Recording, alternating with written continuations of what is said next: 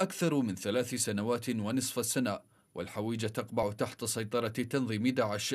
الآن وبعد طول انتظار استعادتها بسبب خلافات هنا وهناك تحركت قطاعات القوات العراقية نحوها وسط تحذيرات من موجات نزوح كبيرة ومطالبة بفتح ممرات آمنة واتخاذ تدابير سلامة لحماية السكان وتسهيل خروج ما يقارب 85 ألف مدني.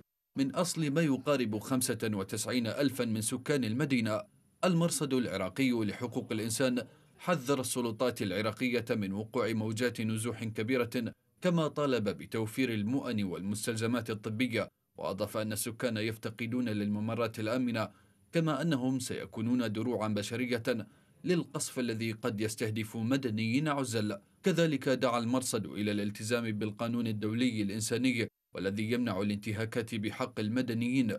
في الوقت نفسه ينتاب كثيرا من الجهات الدولية قلق بشأن توترات متوقعة الحدوث بعد تقدم القطاعات العسكرية نحو الحويجة دون إعلام قوات البيشمركة بذلك التقدم وهو ما قد يخلق حاجزا آخر يعرقل عملية استعادة المدينة كما حدث في السابق بينما سكانها يعانون تدهورا وموتا يسيطر على المدينة.